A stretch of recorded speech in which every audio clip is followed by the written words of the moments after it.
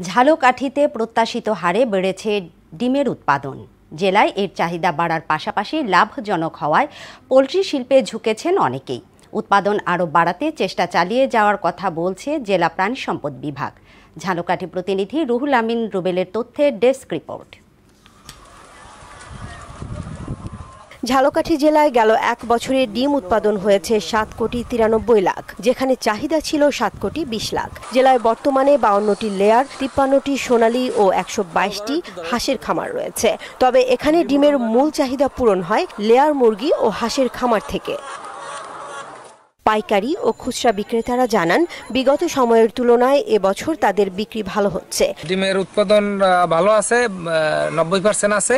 বেচা কিনাও বাড়ছে বা খরিদ্দারটাও বেশি কিনা বেচা কিনাতে আছে। ডিমের চাহিদা বেশি এবং ভালো। এদিকে ডিমের দাম সহনীয় রাখতে মুরগির খাবারের দাম কমানোর দাবি জানান খামার মালিকরা। ডিম উৎপাদন অনেক বেশি কিন্তু খাদ্যের দাম ইদারিং বৃদ্ধি হওয়ার কারণে আমাদের অনেক লস হইতেছে। ঝালকাঠিতে ডিমের উৎপাদন ও চাহিদা দুটোই বেড়েছে বলে জানালেন জেলা প্রাণী সম্পদ কর্মকর্তা। ঝালকাঠিতে ডিম উৎপাদনের যে চাহিদা সেই চাহিদা দিন দিন বাড়ছে এবং সেই চাহিদার উপর ভিত্তি করে উৎপাদনও দিন দিন বাড়ছে।